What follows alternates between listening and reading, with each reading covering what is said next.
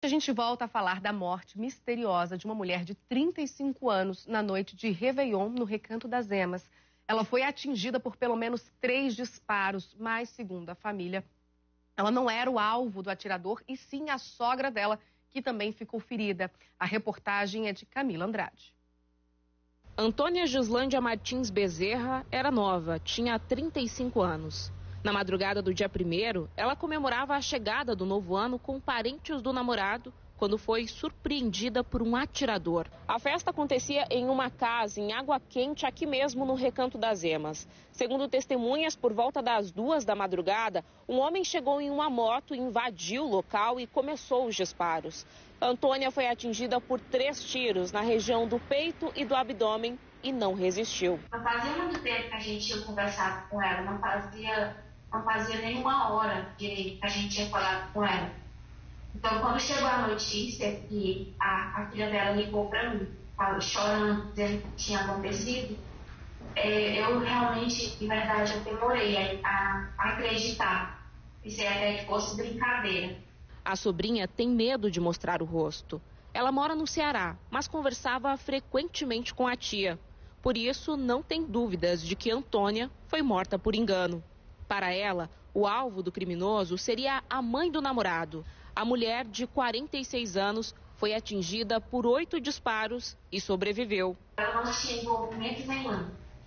Esse homem foi lá atrás dele, do namorado dela. Atrás do namorado dela, porque ele já cumpriu pena. E ela também, ela também já tinha comentado que ele falou que não queria morar lá onde ele estava, queria se mudar para Samambaia. Queria se mudar para Samambaia porque ele estava com medo de irem atrás dele. Porque como não fazia muito tempo que ele tinha saído da prisão, é, o certo, alguém teria que cobrar, né? E ele estava com medo. A gente sabe que não era ela o alvo.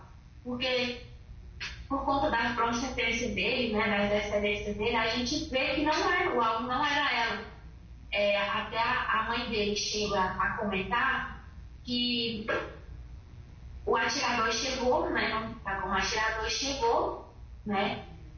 E foi direto para cima dela. Direto para cima dela, ela chegou a bater de frente com ele e ele acabou disparando oito vezes contra ela. Porque esse logo era mentira e ela que sofreu oito tiros. O namorado de Antônia não estava na casa no momento do atentado e a posição das câmeras de monitoramento não permitiram o registro da ação. Antônia deixou dois filhos, de 19 e 13 anos. O caso é investigado pela 27ª Delegacia de Polícia Civil do Recanto das Emas. A delegacia tomou conhecimento em seguida. Assim que viu, já foi comunicada a respeito desse grave crime. As diligências passaram a acontecer logo em seguida e quero deixar tranquilo a todos os moradores do setor habitacional Água Quente que esse crime não ficará impune.